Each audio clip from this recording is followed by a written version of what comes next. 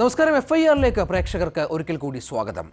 വ്യക്തിവൈരാഗ്യത്തിന്റെ പേരിൽ വീട്ടുവളപ്പിൽ വീട്ടിൽ നിർത്തിയിരുന്ന രണ്ട് ലക്ഷത്തിലേറെ വില വരുന്ന പ്രാവുകളെ അയൽവാസികൾ കൊന്നൊടുക്കി. മകളെ കൊലപ്പെടുത്തിയ അച്ഛന് ജീവപര്യന്തം കഠിന തടവ്. സ്കൂൾ കോളേജ് വിദ്യാർത്ഥികൾക്ക് കഞ്ചാവ് എത്തിക്കുന്നയാൾ തിരുവല്ലയിൽ പോലീസിന്റെ പിടിയിലായി. ഈ വാർത്തകൾ ഇന്ന് എഫ് ഐ ആറിൽ വിശദമായി ഉണ്ടാകും. അതിനു മുമ്പ് പ്രധാന തലക്കെട്ടുകളിലേക്ക്. ഗർഭമലസിപ്പിക്കാൻ വിസമ്മതിച്ചതിന് പ്രതികാരം. ഗർഭിണിയായ യുവതിയെ പുഴയിലെറിഞ്ഞു കൊല്ലാൻ കൊട്ടേഷൻ റിട്ടയർഡ് ജഡ്ജിയും ഭാര്യയും മകനും പിടിയിൽ. ഇന്റർനെറ്റ് ബാങ്കിംഗ് തട്ടിപ്പിന് പിന്നിൽ നൈജീരിയൻ ബുദ്ധി. നൈജീരിയക്കാർ അടക്കം രണ്ടുപേരെ കൂടി പോലീസ് അറസ്റ്റ് ചെയ്തു.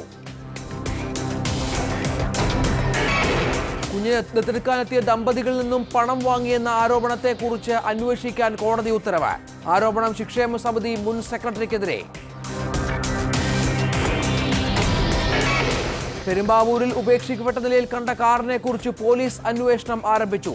A I D M K നേതാവ് തങ്കവേലുവിന്റെ കൊലപാതകവുമായി ബന്ധമുണ്ടെന്ന് സംശയം.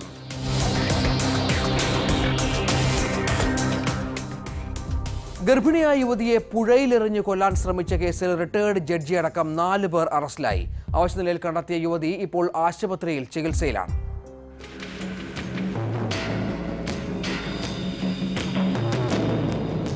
ഒഡീഷയിലെ കട്ടക്കിലാണ് മനുഷ്യ മനസാക്ഷിയെ നടുക്കിയ സംഭവം സംഭവമുണ്ടായത് ഗർഭമലസിപ്പിക്കാൻ വിസമ്മതിച്ചതിന്റെ പേരിൽ റിട്ടയർഡ് ജഡ്ജിയും ഭാര്യയും മകനും ചേർന്ന യുവതിയെ മഹാനദിയിൽ എറിഞ്ഞ് കൊലപ്പെടുത്താൻ ശ്രമിച്ചു. കയ്യും കാലും കെട്ടിയിട്ട ശേഷമാണ് ഇവർ യുവതിയെ പുഴയിലേക്ക് വലിച്ചെറിഞ്ഞത്.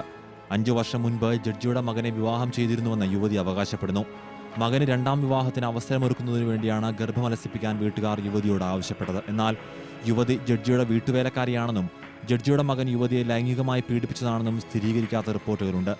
ഭുവനേശ്വറിലെ ഒരു സ്വകാര്യ ആശുപത്രിയിൽ ഇവർ ഇതിനായി സമീപിച്ചുവെങ്കിലും ഭ്രൂണത്തിന് ഇരുപതാഴ്ച പ്രായമുണ്ടായിരുന്നതിനാൽ ഗർഭം അലസിപ്പിക്കാൻ കഴിഞ്ഞില്ല.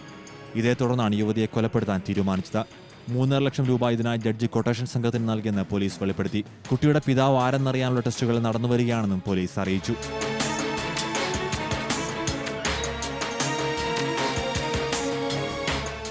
National desk Asianet news. Internet banking തട്ടിപ്പ് കേസിൽ നൈജീരിയക്കാരനടക്കം രണ്ടുപേരെ കൂടി പോലീസ് അറസ്റ്റ് ചെയ്തു. ഇതിൽ നൈജീരിയൻ പൗരൻ ഫെലിക്സിനെ പത്ത് ദിവസത്തേക്ക് എറണാകുളം സി ജെ എം കോടതി പോലീസ് കസ്റ്റഡിയിൽ വിട്ടു. കൊച്ചിയിലെ ഒരു സ്വകാര്യ ആശുപത്രിയിലെ ഡോക്ടറുടെ അക്കൗണ്ടിൽ നിന്ന് പന്ത്രണ്ട് ലക്ഷത്തോളം രൂപ തട്ടിയെടുത്ത സംഭവത്തിലാണ് രണ്ടുപേരെ കൂടി പോലീസ് പിടികൂടിയിരിക്കുന്നത്. സമാനമായ ഒരു ഇന്റർനെറ്റ് തട്ടിപ്പ് കേസിൽ കൊൽക്കത്തയിലെ അലിപ്പൂർ പ്രസിഡൻസി ജയിലിൽ റിമാൻഡിലായിരുന്ന നൈജീരിയക്കാരൻ ഫെലിക്സിനെ അവിടെ നിന്നാണ് പോലീസ് കൊച്ചിയിലെത്തിച്ചത്. കോടതിയിൽ ഹാജരാക്കിയ പ്രതിയെ കൂടുതൽ അന്വേഷണങ്ങൾക്കും തെളിവെടുപ്പിനുമായാണ് പത്ത് ദിവസം പോലീസ് കസ്റ്റഡിയിൽ വിട്ടുകൊടുത്തത്. ഇയാൾക്കൊപ്പം കൊൽക്കത്ത സ്വദേശി രാജഭദ്രയെയും പോലീസ് അറസ്റ്റ് ചെയ്തിട്ടുണ്ട്.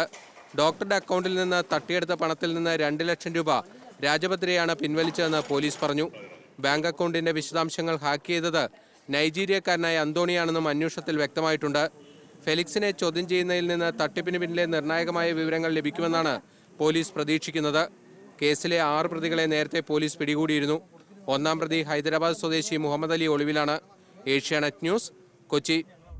School college വിദ്യാർത്ഥികൾക്ക് കഞ്ചാവ് എത്തിക്കുന്നയാൾ തിരുവല്ലയിൽ പോലീസിന്റെ കസ്റ്റഡിയിലായി. കുറ്റപ്പുഴ സ്വദേശി സച്ചിൻ സണിയാണ് കഞ്ചാവ് വിൽപ്പനയ്ക്കിടെ പോലീസ് അറസ്റ്റ് ചെയ്തു തിരുവല്ല കുറ്റപ്പുഴ മാടമുക്ക് മണക്കാല വീട്ടിൽ അച്ചിൻസൺ ഐസക്കിനെ മാടമുക്ക് ജംഗ്ഷനിൽ കഞ്ചാവ് വിൽക്കുന്നതിനിടയിലാണ് തിരുവല്ല പോലീസ് പിടികൂടുന്നത്.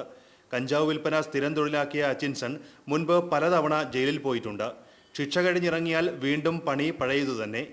മാടമുക്കിൽ പിടിയിലാകുമ്പോൾ ഇയാളുടെ കയ്യിൽ നിന്നും ഇരുപത്തിരണ്ട് പൊതി കഞ്ചാവ് പോലീസ് കണ്ടെടുത്തു. ആയിരത്തി ഇരുന്നൂറ്റി അൻപത് രൂപയും കിട്ടി. കഞ്ചാവ് പൊതി ഒന്നിന് അൻപത് രൂപയ്ക്കാണ് വിൽപ്പന നടത്തിയിരുന്നതെന്ന് ഇയാൾ പോലീസിനോട് പറഞ്ഞു. തിരുവല്ലയിലെ സ്കൂൾ കോളേജ് വിദ്യാർത്ഥികളും അന്യസംസ്ഥാന തൊഴിലാളികളുമായിരുന്നു പ്രധാന ഉപഭോക്താക്കളെന്നും ഇയാൾ പോലീസിനെ അറിയിച്ചിട്ടുണ്ട്. അതേസമയം ഇയാൾക്ക് കഞ്ചാവ് എത്തിക്കുന്ന വൻ ലോബിയെപ്പറ്റി വിശദമായ അന്വേഷണം നടത്തണമെന്ന ആവശ്യം ശക്തമായി. തിരുവല്ലയിൽ കഞ്ചാവ് മയക്കുമരുന്ന് എത്തിക്കുന്ന വൻ ലോബി പ്രവർത്തിക്കുന്നുണ്ടെന്ന് നേരത്തെ തന്നെ റിപ്പോർട്ടുകളുണ്ടായിരുന്നു ഏഷ്യാനെറ്റ് ന്യൂസ് പത്തനംതിട്ട. ലൈംഗിക ന്യൂനപക്ഷ ആക്ടിവിസ്റ്റിനെ കൊല്ലപ്പെട്ട നിലയിൽ കണ്ടെത്തി. ഹാർബർ എഞ്ചിനീയറിംഗ് വകുപ്പിലെ ജീവനക്കാരനും ട്രാൻസ്ജെൻഡറായി ജീവിച്ചയാളുമായ അനിൽ സദാനന്ദനാണ് കൊല്ലപ്പെട്ടത്. കൊല്ലം ഇ സി ഐ സുഗതന്റെ നേതൃത്വത്തിൽ അന്വേഷണം ആരംഭിച്ചിട്ടുണ്ട്. കൊല്ലം തങ്കശ്ശേരി ലൈറ്റ് ഹൗസിന് സമീപമുള്ള ഹാർബർ എഞ്ചിനീയറിംഗ് വകുപ്പിന്റെ ക്വാർട്ടേഴ്സിലായിരുന്നു അനിൽ താമസിച്ചിരുന്നത്. ആയിരം തെങ്ങ് കുന്നേൽ വീട്ടിൽ സദാനന്ദന്റെ മകനാണ് മുപ്പത്തിയൊമ്പതുകാരനായ അനിൽ.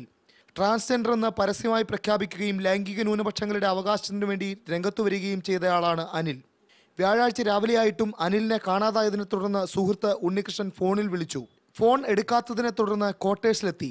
വിളിച്ചിട്ടും കഥകു തുറക്കാത്തതിനാൽ ഉന്നത ഉദ്യോഗസ്ഥരെ വിവരമറിയിച്ചു. സുഹൃത്തുക്കളെത്തി നടത്തിയ അന്വേഷണത്തിലാണ് കൊല്ലപ്പെട്ട നിലയിൽ അനിലിനെ കണ്ടെത്തിയത്.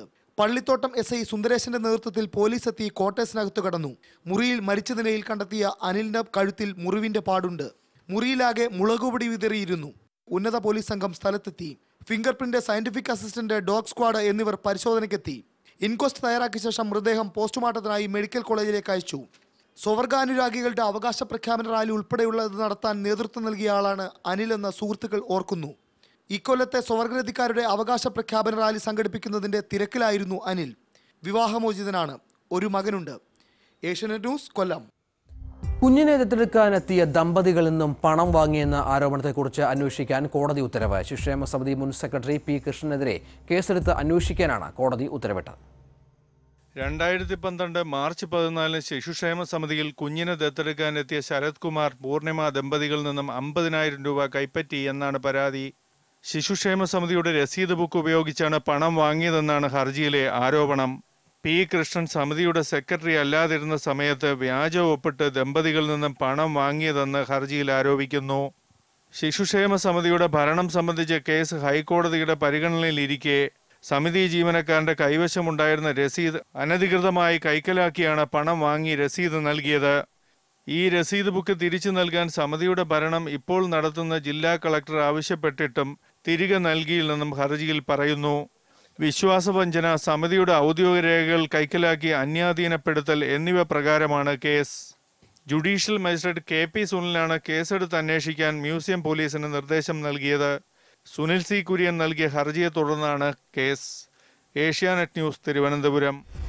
സംസ്ഥാന സഹകരണ ബാങ്കിലെ അഴിമതി കേസിൽ മുൻ മാനേജിംഗ് ഡയറക്ടർ വിശ്വാദ സിംഗ് ഉൾപ്പെടെ പന്ത്രണ്ട് പേർക്കെതിരെ വിജിലൻസ് എഫ്ഐആർ സമർപ്പിച്ചു.